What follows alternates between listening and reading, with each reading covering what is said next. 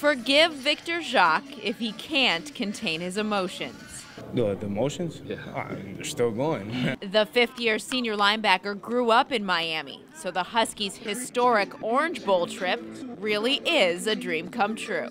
As a kid, you know, going to Hurricane games, having no idea why why people are throwing oranges on the field. Now it's happening to me. It's just quite an experience. With emotions high, Jacques chose to wear his heart on his sleeve permanently. I was gonna get a college in Miami before, but you know, having to come into Orange Bowl is a dream. You know, I decided to get the little touch of the Orange Bowl in it. I really can't process as much as they can. You know, um, growing up and watching this and, and wishing they could play in this game. I, I'm so happy we could get here for them.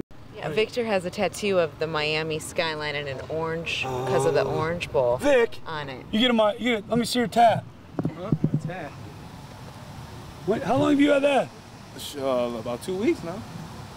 You didn't show it to me. Come on. it looks good. I like it.